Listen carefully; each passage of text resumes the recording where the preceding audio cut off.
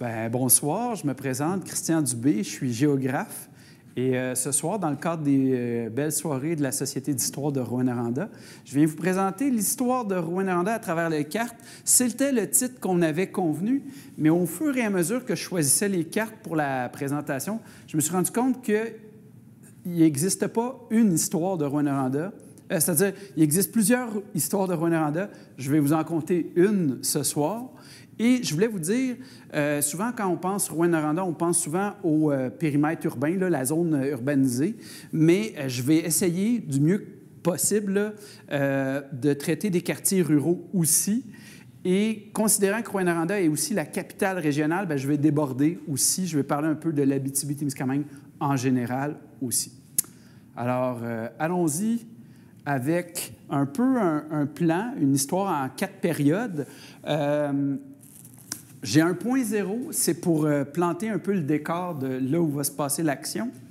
Après ça, je vais parler du peuplement, qui est peut-être la période la plus longue euh, en termes euh, chronologiques, là, en termes de temps. on, on, pense que les êtres humains sont arrivés sur notre territoire il y a 7000 ans avant aujourd'hui, donc 5000 ans avant Jésus-Christ, jusqu'en 1650. Ça, ça serait une période de peuplement du territoire. Il y a eu une période de cohabitation entre les Autochtones et les Eurodescendants entre 1650 et 1853. Ensuite, il y a eu la colonisation et d'un point de vue autochtone, on pourrait parler d'un déracinement. Donc ça, c'est la période 1853 euh, euh, à 1975. Puis, on parle d'une réappropriation euh, de la part des Autochtones depuis 1975. Je vais vous expliquer pourquoi euh, un peu plus tard. Alors, juste vous dire que ma ligne du temps qui est en bas, elle n'est pas euh, à l'échelle parce que la période de peuplement représente à peu près, on pourrait dire, si on remonte à, à 8000 ans ou 7000 ans avant aujourd'hui, c'est à peu près 95% de l'histoire en termes de temps. on n'est pas là depuis très, très longtemps. Odette Vincent, euh, une historienne, dirait qu'on est une région jeune. Marc Côté, qui est archéologue, dirait non, on n'est pas si jeune que ça parce qu'on a presque 8000 ans d'histoire.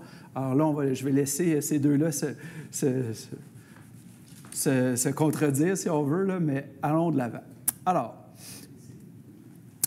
mise en place du décor, vous reconnaissez le, mont Chaudron.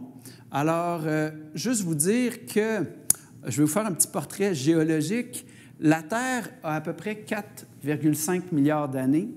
On estime que la province géologique du supérieur, juste ici, elle a presque 3 milliards d'années. Et la faille de Cadillac, ça s'est formé pendant cette période-là, à quelques nuances près. Je pense que c'est 2,7 milliards d'années, euh, la faille de Cadillac, quelque chose comme ça. Euh, et dans le sud de notre région, on a aussi la province de Grenville, la province géologique, qui est euh, pas mal plus jeune, euh, quoique à l'échelle humaine, c'est immense. Un petit mot sur l'affaire de Cadillac. Elle part de l'Ontario, elle passe par Ladder Lake, puis elle s'en va jusqu'à Val d'Or. je pense que c'est Benoît qui disait qu'à peu près 70% de l'or du Canada euh, a été retiré de cette faille-là. Donc, euh, c'est euh, majeur. Puis on a une deuxième faille qui est un peu plus secondaire, mais c'est la faille Porcupine Destar, où il y aura quelques découvertes aussi, surtout dans le secteur de Destar, plus tard. Fait que, on en parlera à ce moment-là. J'enchaîne avec ben, une période euh, qui s'appelle le, quaternaire en, géomorphologie. Là. En fait, il y a 18 000 ans, on avait un immense glacier qui recouvrait l'ensemble de l'Amérique, euh, la partie nord de l'Amérique du Nord, ainsi que le nord de l'Europe. C'était pas juste sur notre continent. Et tranquillement, ce glacier-là va reculer, mais en reculant, il va y avoir un lac qu'on appelle un lac proglaciaire qui va se former en avant du glacier et on estime là, que, dans le fond, il y a eu un lac qui a eu différentes configurations au fil du temps, mais qui a été là à peu près pendant presque 1000 ans. Et qui dit lac dit qu'il y a des matériaux qui sont rentrés dans le lac, des poussières, des grains de sable, tout ça. Ça a formé euh, une couche d'argile dans le fond du lac. Et quand ces lacs-là se sont vidés, ben, on avait des, paysages de plaine qui ont permis éventuellement de faire de l'agriculture. Si on n'avait pas eu ça, euh, nos sols ressembleraient euh, en fait aux Hautes-Laurentides, puis l'agriculture aurait été vraiment impossible euh, en Abitibi-Témiscamingue. alors ici, j'ai une autre image. On le voit quand même assez bien. Là, on a le glacier qui, qui se déplace vers le sud. Puis quand il se déplace vers le sud, bien, il fond. Puis en marge sud de ce glacier-là, on avait un lac qui s'appelait Ojibwe. il n'y a pas toujours eu cette configuration-là. Euh, souvent, on parle du euh, lac Ojibwe-Barlow. Euh, le lac Barlow était plus au Témiscamingue.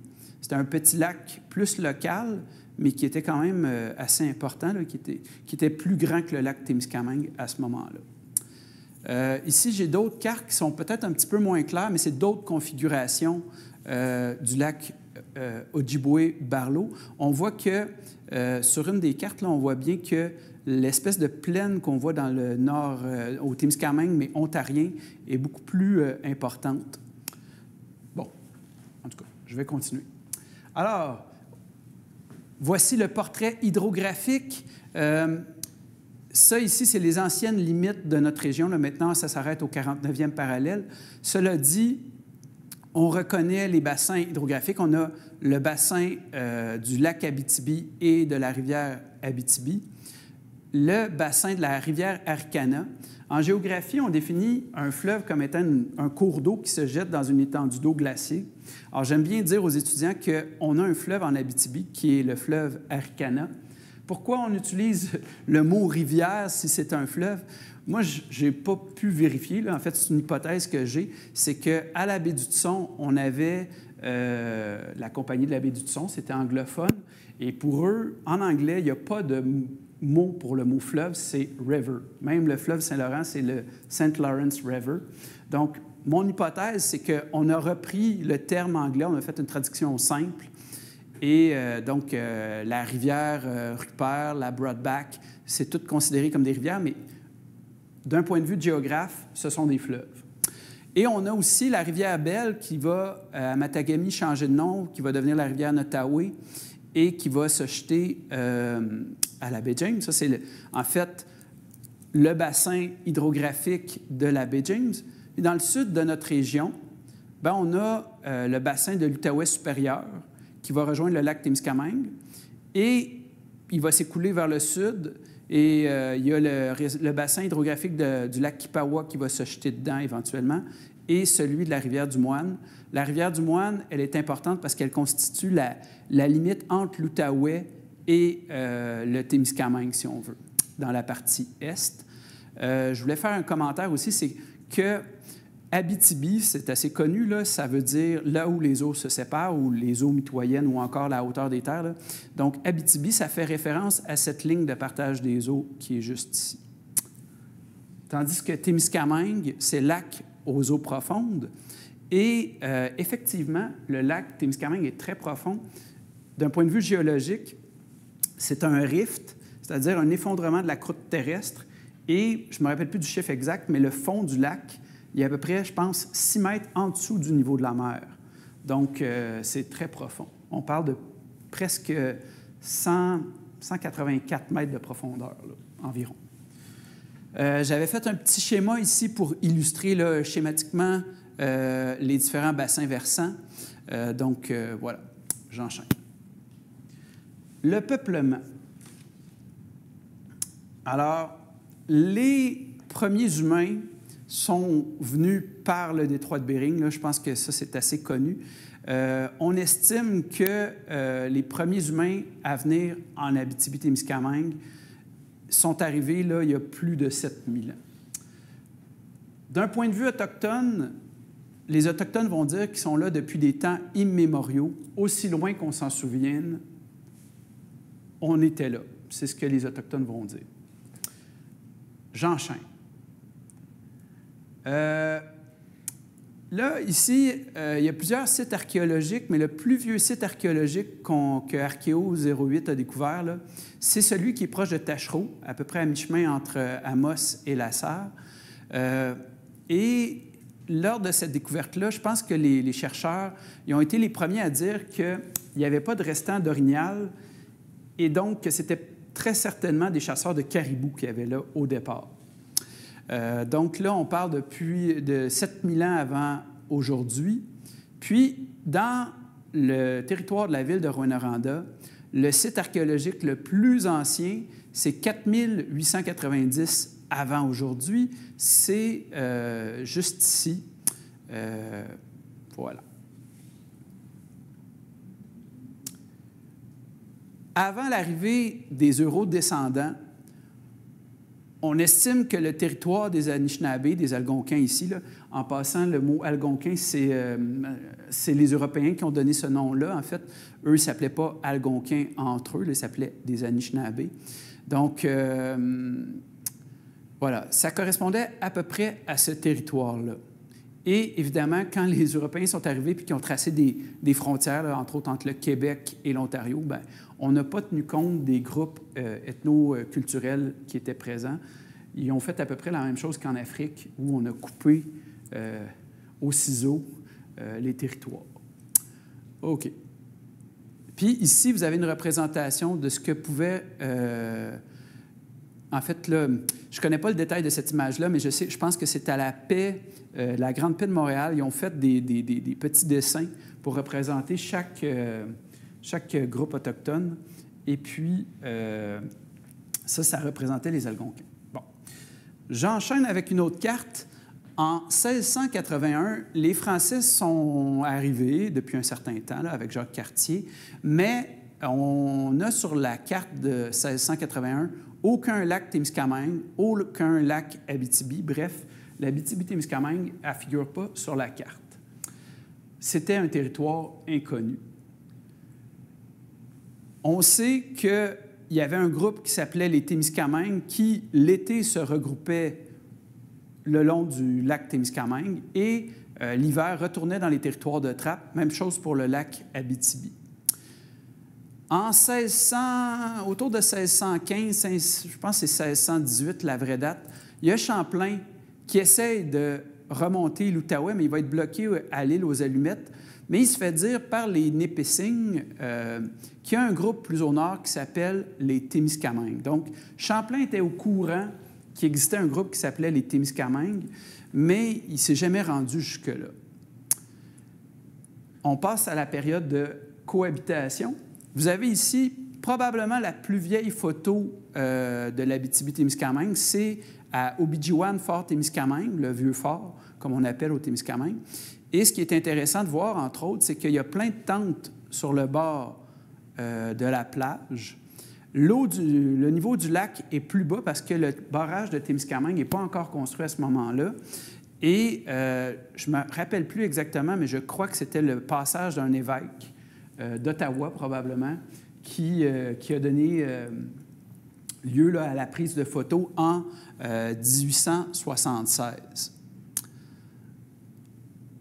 J'arrive maintenant à l'expédition de Pierre de Chevalier de Troyes. Euh, il y a probablement des Européens, des coureurs des bois qui sont passés avant lui, mais c'est le premier Européen qui a documenté son voyage, qui a tenu un journal. Et lui, son sa mission, c'était de partir de Montréal, de remonter euh, l'Outaouais et de surprendre les Anglais à la baie James et de reprendre les postes qu'il y avait à la baie James. Il y avait d'autres Français qui avaient déjà euh, remonté le Saguenay et ils avaient passé par la rivière Rupert. Je pense que c'était un certain Albanel.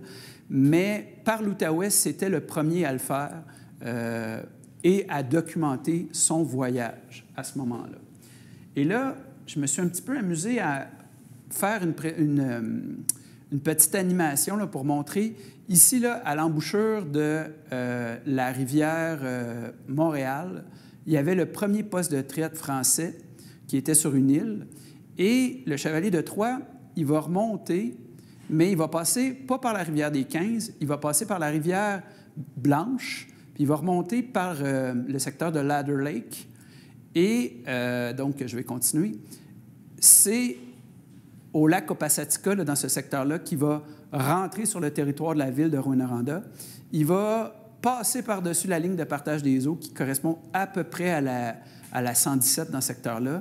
Il va passer pas trop loin du euh, mont Canasta, le lac d'Assera. Puis là, il va continuer vers le lac Abitibi jusqu'à la rivière Abitibi, puis il va remonter euh, jusqu'à la baie James. Donc ça, c'est le parcours qu'il fait dans notre région. Alors, deux ans après le passage du Chevalier de Troyes, on a une carte qui date de 1688. Et là, euh, ben, on reconnaît là, le tracé du Chevalier de Troyes qui est, où il y a vraiment beaucoup de commentaires, mais un petit peu plus à l'ouest, on n'a aucune information. Puis un petit peu à l'est, on a mis une, une grande masse d'eau qui correspond probablement à ce que les gens se représentaient comme étant la source du Saint-Maurice mais euh, on s'entend, là, ça n'existe pas. Mais euh, à l'époque, on pensait qu'il y avait une grande masse, une grand, un grand lac qui alimentait la rivière Saint-Maurice. Euh, en 1763, c'est la proclamation royale et il y a un territoire qui est désigné, qu'on appelle le territoire des, des Indiens. Et l'Abitibi-Témiscamingue ferait partie de ce territoire-là. Euh, en tout cas, du moins la partie sud, puis la partie nord euh, serait dans la terre de Rupert. Euh, il y a beaucoup d'Autochtones qui se posent la question pourquoi le territoire des Indiens a disparu alors que le territoire du Québec, la province de Québec, elle, est, est devenue une réalité?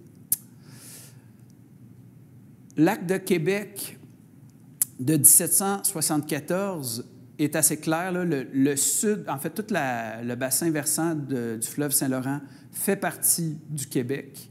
Donc, euh, la partie sud de la ville de Rouen-Noranda euh, fait partie de la province de Québec en 1774.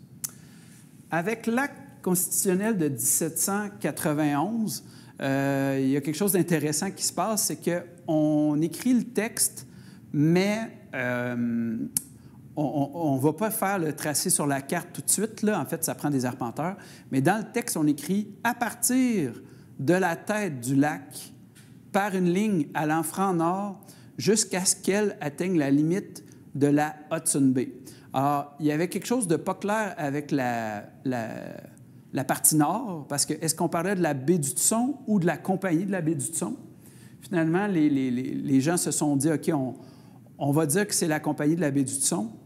Et pour la partie sud, ben, la tête du lac, est-ce que c'était la rivière Blanche ou c'était la rivière des 15? Là, euh, il y a eu euh, une chicane entre l'Ontario et le Québec pour savoir qu'est-ce qu'on faisait avec ça. Finalement, il y a eu une frontière officielle négociée en 1875. À cette époque-là, là, je vais parler de la carte de droite on faisait partie euh, du comté de Pontiac. On était dans l'Outaouais, en fait. Pendant la cohabitation, ben, c'est certain que ça a amené des changements dans le mode de vie des Anishinabés. Euh, on faisait la chasse encore pour se nourrir, mais les peaux de fourrure étaient aussi rendues euh, un objet de commerce. Et il y a eu l'introduction du fusil, et, probablement qu'il y avait aussi des, du matériel de trappe, puis il y avait aussi du matériel pour euh, la cuisson, la cuisine. Euh, j'ai appris euh, dernièrement que les Anishinaabe, pour avoir de l'eau bouillante, avant d'avoir des casseroles, ben, ce qu'ils faisaient, c'est qu'ils prenaient une peau d'orignal, faisaient des nœuds dedans, puis ils prenaient des, roches qu'ils avaient fait chauffer sur un, un, feu, puis ils mettaient la roche dans l'estomac d'orignal avec l'eau. C'est comme ça qu'ils avaient leur eau chaude, quand même. OK. Il y a encore des gens qui euh, remettent en question l'existence d'un génocide culturel. En fait, euh, moi, dans mes cours, j'apprends à mes étudiants que l'identité ethno-culturelle, ça se construit à partir des éléments suivants. Il y a la langue, la spiritualité ou les croyances, les pratiques culturelles, le territoire d'attache, une histoire commune, une parenté et ou une apparence physique. Euh, bien que de nos jours, ça, soit de moins en moins vrai, euh, l'apparence physique. Euh, cela dit, euh, le gouvernement fédéral a attaqué chacun de ces éléments-là de différentes manières. On a pas, il y a eu une interdiction de parler sa langue. En fait, les Autochtones dans les pensionnats indiens n'avaient pas le droit de parler leur langue. La spiritualité a été modifiée ou effacée par l'évangélisation, la loi sur les Indiens et par les pensionnats. Euh, il y a eu une disparition progressive des chamans aussi. Euh, les pratiques culturelles comme les chants traditionnels étaient interdits par euh, la loi sur les Indiens. Il y a eu une perte du territoire par la sédentarisation, par la...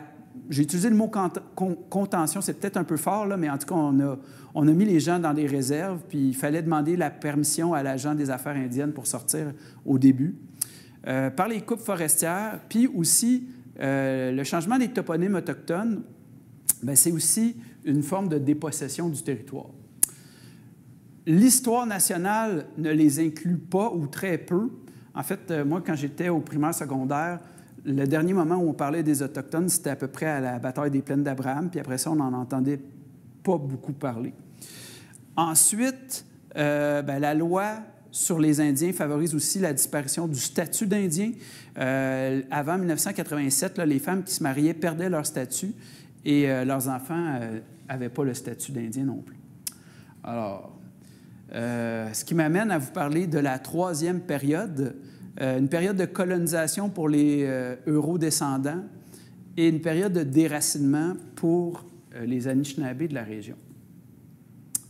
Alors, en 1853, qu'est-ce qui se passe? Bien, c'est la création de la première réserve indienne sur notre territoire à Témiscamingue. c'est ma prochaine diapositive. Mais je veux juste vous dire, euh, on oublie souvent euh, trois communautés quand on parle des Anishinaabe. On a tendance souvent à présenter les onze nations du Québec et euh, on oublie trois communautés. Donc, j'ai trouvé cette carte-là dans un livre de M. Mathias. J'étais bien content de pouvoir vous la présenter. Alors, première communauté, c'est celle de Témiscamingue First Nation en 1853. C'est le début d'une forme de déracinement de leur point de vue. Chose peu connue, le premier résident de Rouyn-Noranda, ce serait un certain Ignace Tonéné, qui était euh, un autochtone. Euh, et euh, on sait que c'est établi dans ce secteur-là, entre le lac Opasatika et le lac d'Asra. Et il a demandé à l'agent des affaires indiennes à avoir des semences et du matériel agricole. Il les a achetés. Donc, on présume qu'il a fait qui, serait aussi le premier agriculteur euh, de Rouen-Noranda. Ça, on parle des années 1888. C'est ça. Voilà, je l'avais indiqué ici. OK. Euh, vous avez aussi une carte de 1891, c'est le secteur de Rouen-Noranda. Il y a plusieurs toponymes euh, autochtones qui ont disparu. On peut penser au lac du Faux avec... sur la carte, c'est écrit Nata puis Mais en fait, là, euh, euh, en tout cas, après consultation auprès des, euh, communautés autochtones, on, ça serait peut-être plus Nadobi, là. En tout cas, on, travaille là-dessus. le lac du Frenois qui, qui s'appellerait Kajakanikamak. En fait, vous voyez, là, il y a plusieurs lacs et, qui, ont changé de nom. ici, je fais un petit zoom juste pour vous montrer que ici, on a des, des petits pointillés pour montrer le portage que le chevalier de Troyes avait fait. Vous avez ici les Keke Hills, qui correspondent au lac, euh, aux collines Kekeko. Kekeko qui veut dire épervier en Anishinaabe.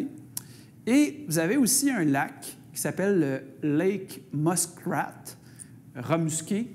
Et en fait, euh, on n'est pas sûr si c'est de l'Anishinaabe ou du Cri, mais Ossico voudrait dire euh, lac du remusqué ou remusqué. On a une autre carte ici de 1907. Euh, on commence à faire de l'exploration minière, surtout dans le secteur de Arnfield. Euh, je vais vous présenter aussi, on, trace les cantons aussi à cette, époque-là, puis on donne des noms. Puis beaucoup de gens savent là, que les 49 premiers cantons, ce sont les régiments et les officiers de Montcalm lors de la bataille des plaines d'Abraham. Mais ce que les gens savent moins, c'est que dans la première euh, ligne ici, ce sont les régiments, et dans la colonne associée, bien, en dessous du régiment, ce sont les officiers du régiment. Donc, pour le Royal Roussillon, bien, Rouen, c'était un des officiers du Royal Roussillon. Puis, autre exemple, ben, dans le régiment de Berry, Cadillac était un officier dans le régiment de Berry. Puis c'est vrai pour l'ensemble des cantons qui sont là. Donc, on pourrait dire que, je ne sais pas moi, là, on ne le voit pas ici, là, mais Béarn, c'était le régiment euh, dans lequel Malartic faisait partie.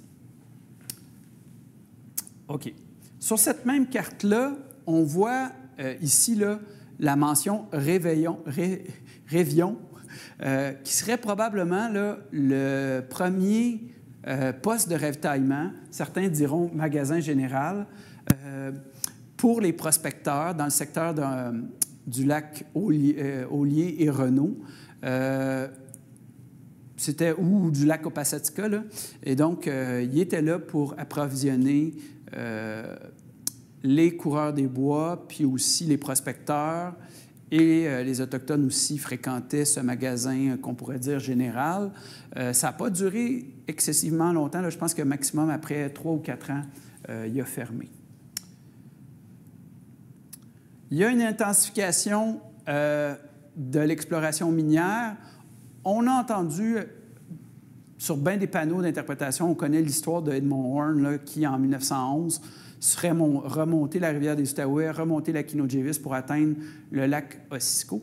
Ce qu'on sait moins, c'est qu'il y a deux frères, Daniel et Isaac McKimut, en 1909, qui auraient trouvé, ils disaient de là, une pierre jaune qui brille au soleil, c'était leur, expression, et ils l'auraient ramené dans leur communauté de Winaway, il l'aurait montré aux gens là-bas. Mais euh, ces Anishinaabe-là, ben, ils n'ont pas euh, réclamé de claim. Et euh, on présume qu'Edmond Horn a entendu les rumeurs concernant l'or. Donc, quelques années plus tard, il est allé prospecter, puis il a trouvé finalement. Juste un petit mot sur la colonisation. Il faut savoir qu'à l'époque, la plaine du Saint-Laurent était presque saturée. Donc, on cherchait à coloniser euh, l'intérieur des terres, que ce soit l'Abitibi-Témiscamingue ou le Témiscamingue-Abitibi, comme on l'appelait à l'époque, parce que cette carte-là date de 1911. En 1911, le Témiscamingue était beaucoup plus peuplé que l'Abitibi. Donc, on mettait le Témiscamingue en avant de l'Abitibi. Euh, les Hautes-Laurentides, euh, le, lac Saint-Jean, le secteur de lac mégantique, puis aussi l'intérieur des terres là, euh, dans euh, le Bas-Saint-Laurent. Alors, je vous présente maintenant trois axes de colonisation. Alors, le premier axe, c'est l'axe du lac Témiscamingue. Ça a commencé autour de 1880, ça a continué. Bien, j'ai mis 1930, là, mais ça a continué après. Mais disons, l'axe, le gros de l'axe s'est peuplé pendant cette période-là. Euh, vous avez l'axe du transcontinental, du chemin de fer entre Québec et Winnipeg, euh, qui a été terminé en 1913 là, à Press, qui est une petite localité là, à l'est de Sainte-Terre. Et euh, le troisième axe, il a commencé, là, en fait, on a commencé à faire des découvertes en Ontario et progressivement, on a trouvé le, tracé de la faille de Cadillac et c'était notre troisième axe de colonisation. Alors, ici, vous avez une carte de 1905 qui présente les cantons euh, du Témiscamingue, autour du lac Témiscamingue, ce qu'on appelle le vieux Témiscamingue.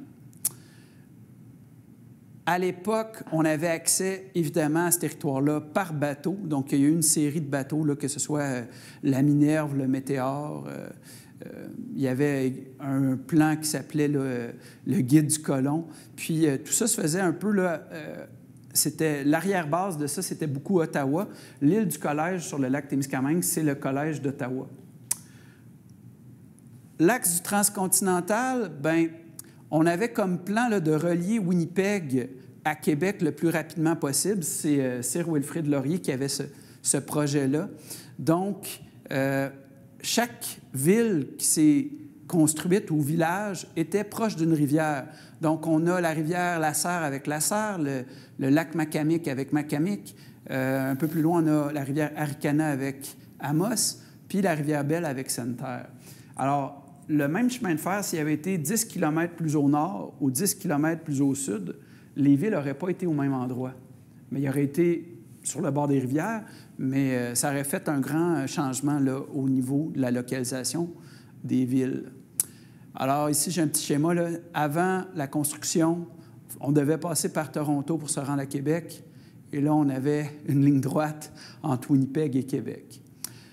Euh, vous avez ici une carte avec euh, l'axe de l'affaire de Cadillac, aussi appelé l'axe minier. Alors là, je vais vous faire une petite comparaison entre les deux premiers axes et euh, l'affaire de Cadillac, le, troisième axe. Alors, le premier point, c'est que pour les deux premiers axes, euh, c'était vraiment rural comme développement, tandis que le long de l'affaire de Cadillac, c'était principalement urbain et il existait une dualité entre la ville de la compagnie et celle des squatters. On peut penser évidemment entre euh, Rouen et Noranda. Euh, disons que ici on a des intersections qui sont pas toujours perpendiculaires. Euh, les gens se sont installés sans acheter leur, leur lot la plupart du temps, en tout cas au début de Rouen-Noranda. Et à Noranda, ben, c'était beaucoup plus planifié. Vous avez aussi ici une photo aérienne d'à peu près 1926, puis on voit le tracé des rues. On parle d'une dualité, c'est vrai pour Rouen, c'est vrai pour Noranda, mais c'était vrai aussi pour Val-d'Or et Bourg-Lamac, qui était la, ville de la compagnie Lamac. Et pour Malartic, je ne sais pas si Malartic était une ville de squatters, je ne pense pas, mais il y avait l'équivalent, il y avait ce qu'on appelle Roc d'Or avec Putainville. C'était le, nom qu'on utilisait pour désigner euh, Roc d'Or à l'époque. Euh, au niveau économique, c'était un système surtout agroforestier dans les deux premiers axes et c'était plus industriel minier pour l'affaire de Cadillac. On avait surtout des Canadiens français pour les deux premiers axes. C'était multiculturel euh, pour l'affaire de Cadillac, même qu'on dit que Rouen, euh, Noranda était peut-être la, deuxième ville la plus cosmopolite au Québec à ce moment-là on avait un, développement en tâche d'huile, alors que pour l'affaire de Cadillac, il y avait du développement d'une mine à une autre. Donc, c'était un peu à saute-mouton, ce n'était pas continu comme développement. Puis, le projet politique pour les deux premiers axes, ben, c'était de soulager le sud du Québec de ses chômeurs, éviter l'immigration aux États-Unis, puis investir le territoire. Puis, pour le dernier, l'axe l'affaire Cadillac, ben, c'était de faire fortune surtout pour les compagnies, mais aussi pour les individus. Euh, il y a beaucoup de gens qui venaient ici avec le projet de repartir par la suite. Voilà. Euh, vous avez ici une carte de 1935 du canton de Beauchâtel. Euh, ça correspond en gros là, à Arnfield, qui à l'époque, on l'a appelé pendant un bout de temps Provencher. Mais il y a eu une mine, je pense que c'est un Américain, une mine qui, était la mine d'Arnfield, et c'est à partir de là que euh, ça s'est appelé Arnfield. Et chose à noter, c'est qu'officiellement, Arnfield est plus ancien que Rouen. Euh, ça a été fondé en 24. Alors ça, si vous voulez, c'est la, partie euh, ouest de l'affaire de Cadillac. On a le canton de Rouen en 26. Cette carte-là, -là, c'est indiqué que ça date de 1923, mais il y a eu des ajouts en 1926. Là, on ne voit pas très bien, mais euh, on peut reconnaître là, juste ici euh, le lac Ossisco. Puis là, je me dirige encore plus à l'est. Vous avez ici Cadillac avec, euh, ben, en fait, c'est le canton de Cadillac, et on a la route qui va devenir la route 117 ici, et il y a le chemin de fer qui passe plus au nord.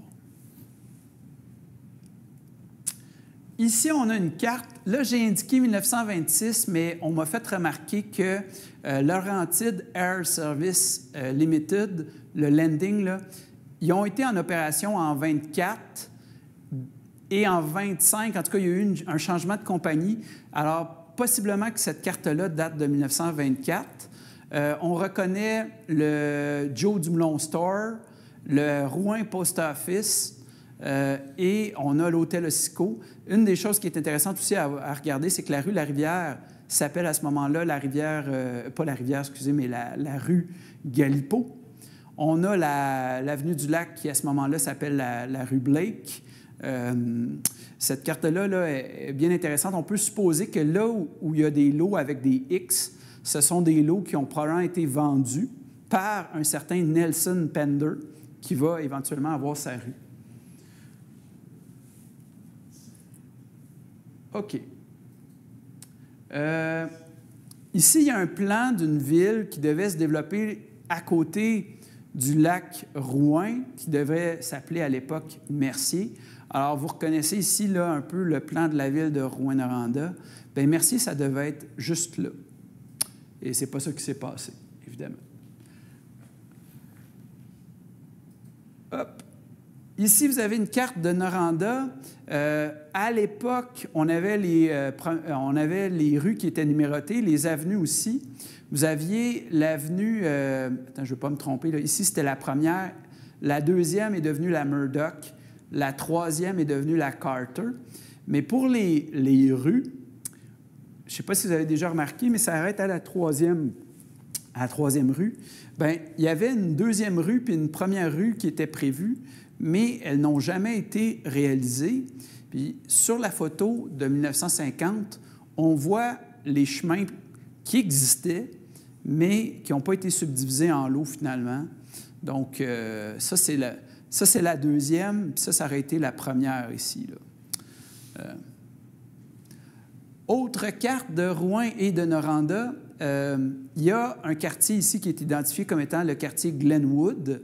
Euh, Glenwood, c'est grosso modo le secteur de l'ancienne église Sainte-Bernadette. on avait prévu tout un plan qui était probablement euh, planifié par la, mine Glenwood, ou en tout cas le claim Glenwood, je ne suis pas certain qu'ils ont, été en opération. Euh, et ça correspond au quartier euh, proche du au nord du Cap d'Ours.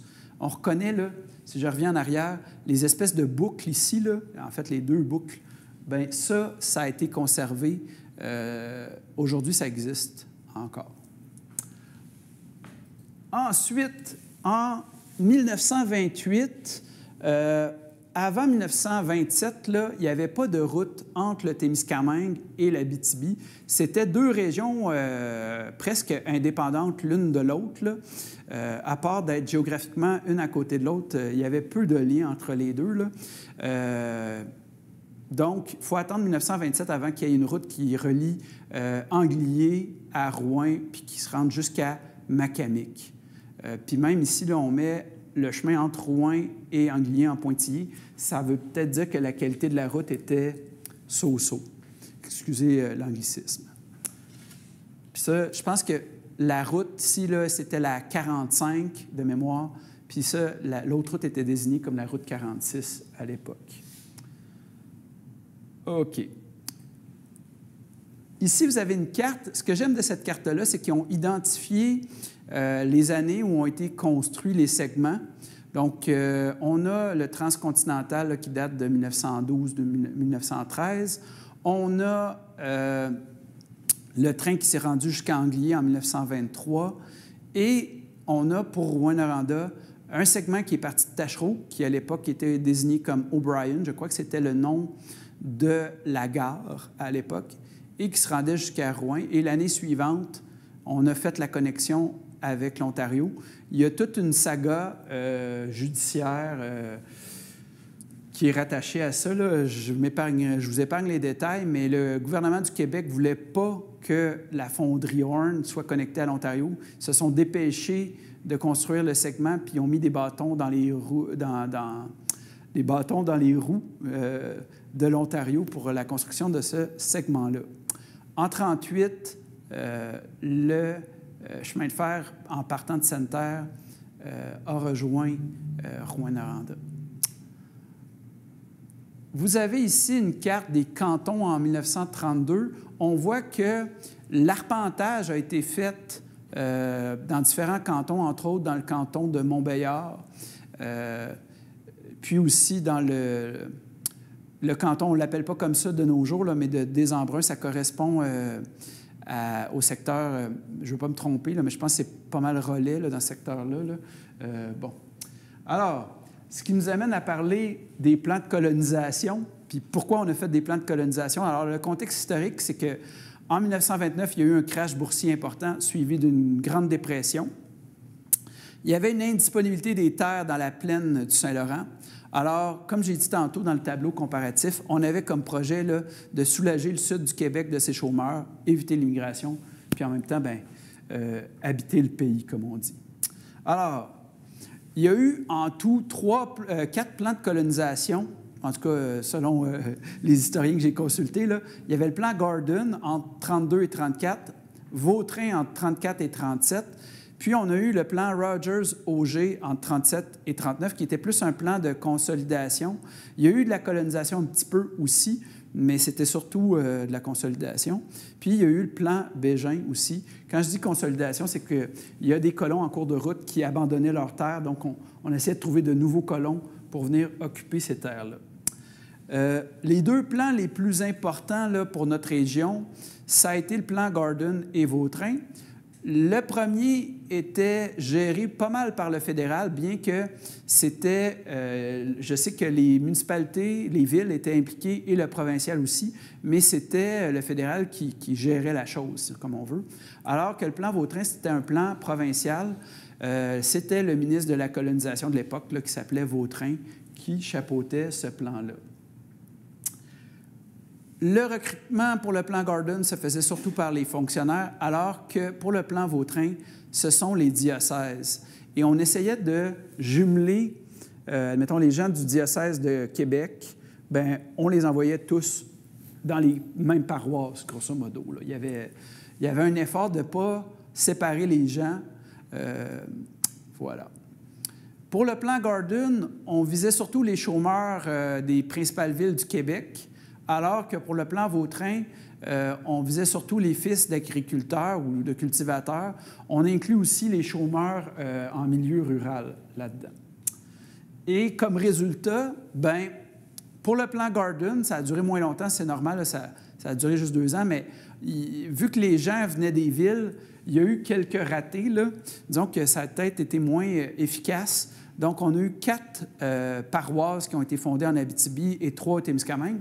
Mais c'est surtout le plan Vautrin qui a, bien fonctionné. Il y a 19 paroisses qui ont été fondées en Abitibi et 8 au Témiscamingue. Ici, vous avez quelques données concernant le plan Vautrin. Le plan Vautrin, c'était pour l'ensemble du Québec, c'était pas juste l'Abitibi-Témiscamingue. Euh, Alors, en tout et partout, là, on a envoyé euh, plus que 25 000 euh, personnes cultiver la terre puis défricher. Il y en a 42 qui sont venus en Abitibi, 14 au Témiscamingue, puis 44 dans le reste du Québec. Dans le plan Vautrin, il y a, entre autres, euh, Destar qui a été fondé. Une des choses que je trouve intéressante dans cette carte-là, qui date de 1935, c'est qu'on voit le chemin qui mène, qui relie euh, Rouen, Noranda à Macamic. Et les lots de colonisation sont perpendiculaires à la route, euh, mais pour le reste du canton, ils sont euh, dans le sens des rangs. Euh, donc, une petite particularité ici.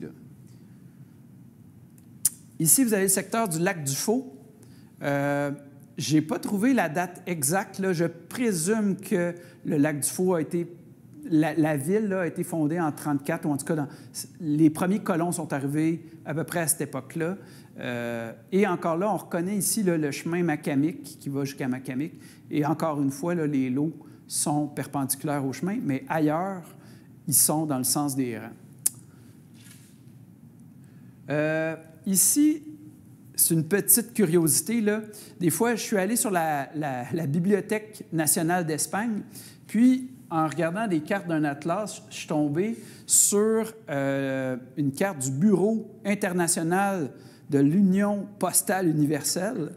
Et, euh, bon, il y a une erreur sur la carte parce qu'il y avait déjà à cette époque-là un lien quotidien entre Rouen et Ellesbury en hydravion pour la poste. Mais ici, ils ont rajouté un lien entre Rouen et Kawagama, qui correspond, je, je suis pas mal sûr que c'est le lac Pressac. Euh, puis il y avait aussi d'autres liens là, en région. Euh, ça pour dire qu'on était connecté déjà avec le, reste du Québec, mais par hydravion.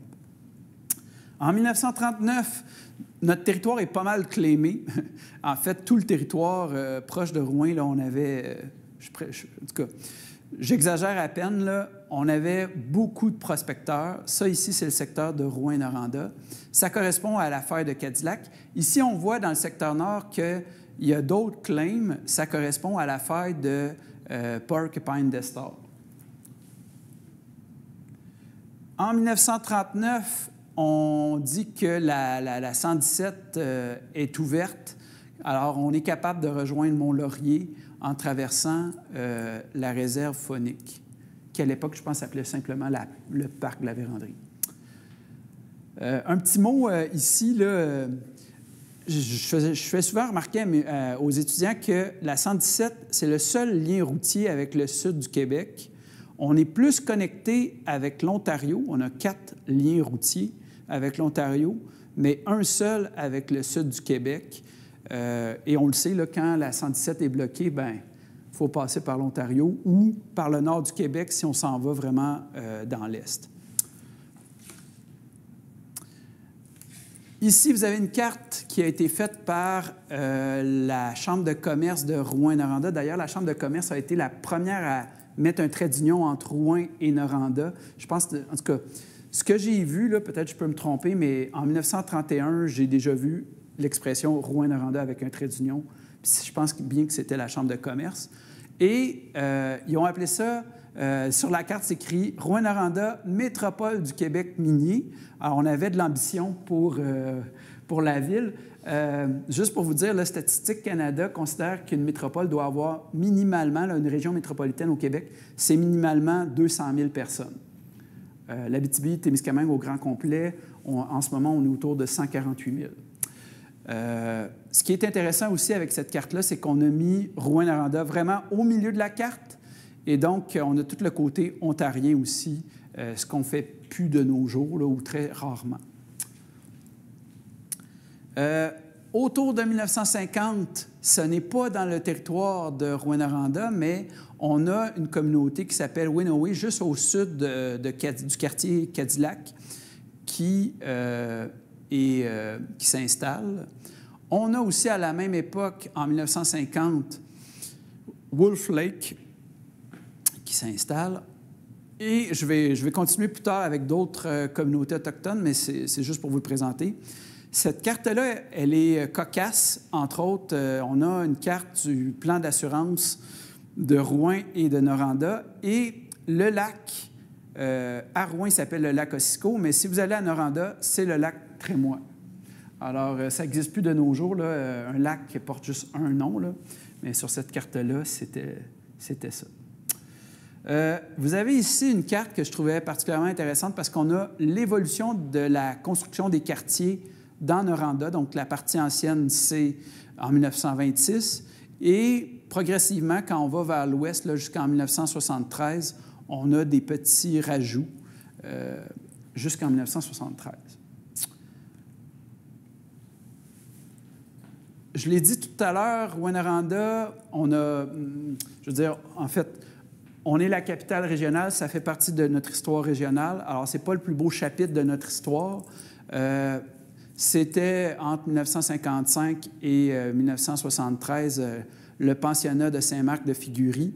Et euh, j'ai mis une petite citation en dessous de Duncan Campbell Scott, euh, un ancien euh, fonctionnaire au ministère des Affaires indiennes. Et lui, il avait dit, et là, c'est des paroles regrettables, Je veux me débarrasser du problème indien. Notre but est de continuer jusqu'à ce qu'il n'y ait plus un seul Indien au Canada qui ne soit assimilé à notre société, qu'il n'y ait plus de questions indiennes ni de ministère des Indiens. Alors, je ne sais pas, euh, je trouve que c'est assez explicite. On avait l'intention de faire disparaître euh, la culture, euh, les cultures autochtones à ce moment-là.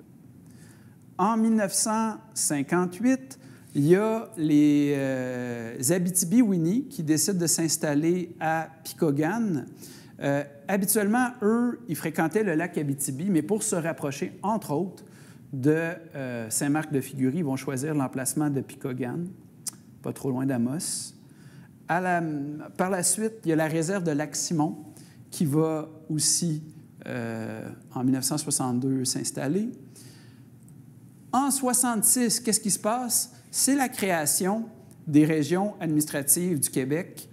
il y en avait dix à l'origine. Et notre région s'appelait la région du Nord-Ouest. Elle s'est appelée comme ça jusqu'en 1981. Par la suite, je ne sais pas si vous remarquez, mais les limites ont changé. À l'époque, euh, la limite nord était le 51e parallèle et une bonne partie de la région touchait au Saguenay-Lac-Saint-Jean, euh, ce qui n'est plus le cas aujourd'hui. Dans le nord de notre région, on avait euh, Matagami, on avait Valparadis, Villebois, Beaucanton, Lebel-sur-Quévillon, Waswanipi.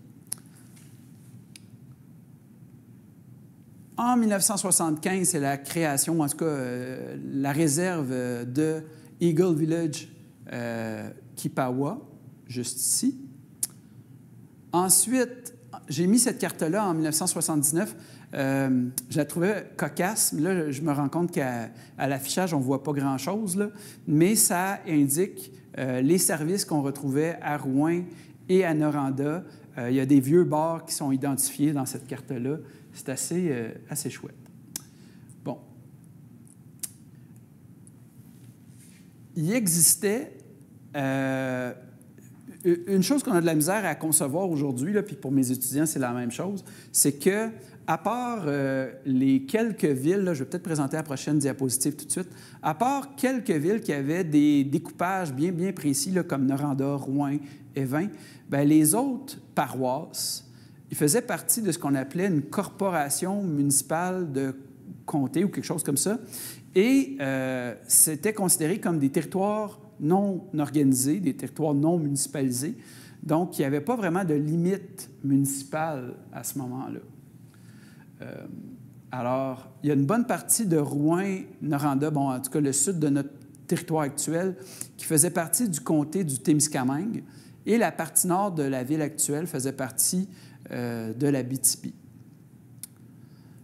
En 1979, là, on crée, c'est ma prochaine diapositive, on crée les MRC et on euh, donne des découpages aux village. Donc, euh, ça, c'était en 1979.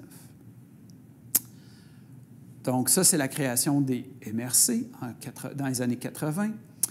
En 1993, euh, on se dote euh, d'une université. Normalement, pour voir apparaître une université, ça prend un bassin de population d'à peu près 300 000 personnes.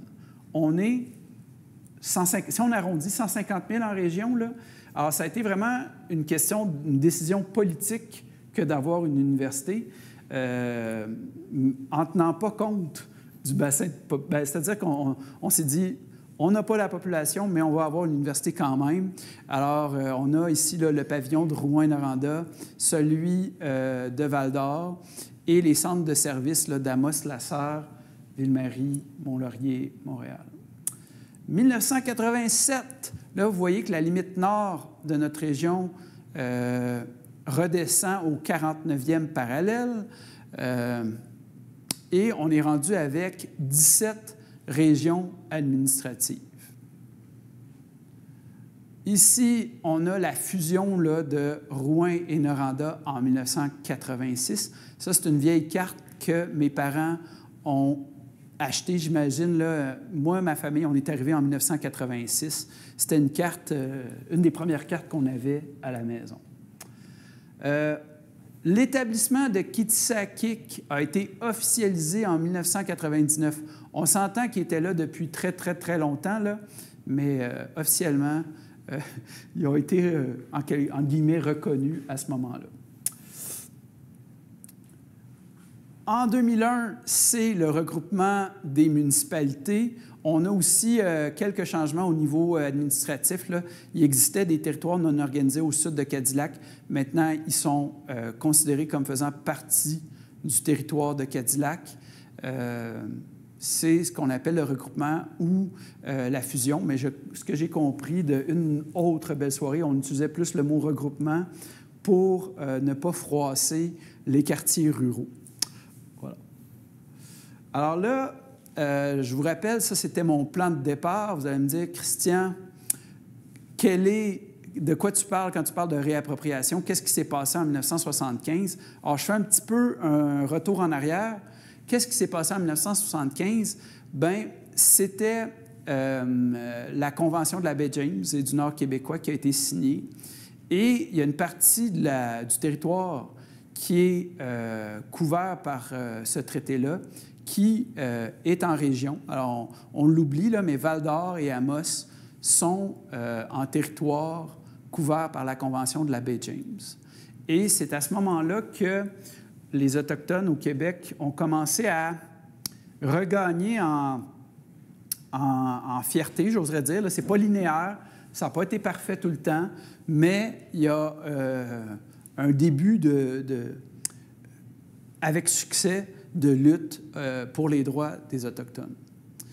Euh, il y a eu la paix des Braves en 2002, qui est un peu la suite renégociée de la Convention de la baie James. En 2007, on a eu le film Le Peuple invisible, euh, qui, euh, avec Richard Desjardins et, Robert Mondry, qui a, je pense, conscientisé euh, pas mal la population aux réalités autochtones. On a eu une série d'études et de recommandations dans diverses commissions parlementaires. je vous les épargne, vous prendrez peut-être les temps de le lire à la maison, mais il y en a eu vraiment plusieurs. Il y a eu euh, plusieurs euh, commémorations et euh, plusieurs choses qui ont été faites dans une optique de guérison. À votre droite, sur le, vous avez une plaque à Saint-Marc-de-Figuerie. le pensionnat n'existe plus, mais on a installé une plaque. Et je vais juste vous lire un petit extrait. Je trouve que ça fait très... en fait, ce que je trouve beau là-dedans, c'est qu'on n'est pas dans le... On ne fait pas de reproches aux gens, on fait juste dire la commémoration, c'est de se mettre ensemble pour se rappeler, prendre un temps d'arrêt, se rappeler sans être amer et pour se dire qu'à l'avenir, ça va être différent. Alors, euh, ils ne sont pas dans le reproche, mais ils veulent que les choses soient différentes. Et puis, vous avez aussi là, des gens qui marchent. C'est la, journée du, chandail orange au mois de septembre. Euh, vous l'aurez probablement reconnu. En 2023, il y a l'UCAT qui va déclarer avec les peuples autochtones le principe de reconnaissance territoriale. On va reconnaître, entre autres, qu'on euh, est en territoire non cédé. les Autochtones n'ont jamais cédé leur terre par, euh, par traité euh, en Abitibi-Témiscamingue. Et ce qui est étrange aussi, c'est que l'UCAT va reconnaître qu'elle participe, mais elle souhaite changer, là, euh, elle, s'inscrit dans, euh, je ne sais pas comment le dire, mais dans un système qui est euh, colonial. Alors, là, on n'a pas le temps de présenter la petite bande-annonce, mais c'est particulièrement intéressant. Dernièrement, les gens de Winaway sont allés planter un drapeau à la fourche de la 117 avec le chemin pour, pour aller à Pressac. Et ils ont réaffirmé leurs droits ancestraux dans le bassin hydrographique de la Kinojevis. Et ça, c'est euh, à Rouyn-Noranda.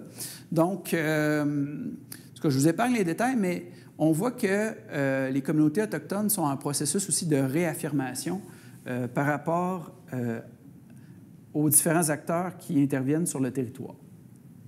Alors, c'est un peu le retour de la fierté pour les communautés. Puis, à la commission vient, Serge Bouchard avait dit en 2017 L'avenir de l'Abitibi-Témiscamingue passe par les Anishinabés. Il est bon de le dire et de s'en rappeler. Et euh, je vais terminer avec ça ici. Alors, euh, vous avez euh, la zone tampon à Rouen-Aranda, vous avez la, fonderie ici, vous avez un cours d'eau qui est assez orange ici, là, et vous avez le quartier Notre-Dame. Alors, c'est une histoire qui reste à écrire parce que euh, les gens qui sont ici là, vont devoir déménager. Ça termine ma présentation. Je vous remercie pour votre écoute.